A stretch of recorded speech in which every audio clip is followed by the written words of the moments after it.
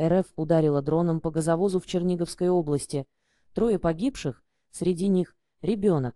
Российская армия днем четверга, 3 сентября, нанесла удар по Черниговской области. Известно о трех погибших, среди них шестилетний ребенок.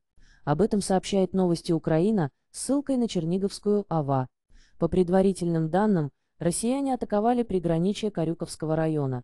Они попали беспилотником в автомобиль, который вез сжиженный газ людям. В результате удара баллоны с газом сдетонировали и загорелись жилые дома. Уже известно о трех погибших, среди них шестилетний ребенок.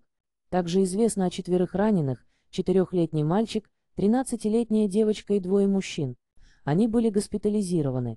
Двое детей стабилизировали и перевели в Черниговскую областную детскую больницу. Их состояние тяжелое. Оккупация Черниговской области. Российские войска вторглись в Черниговскую область в начале полномасштабного вторжения в Украину, которое началось 24 февраля 2022 года. Чернигов стал одним из первых городов, подвергшихся массированным обстрелам и атакам со стороны российских сил.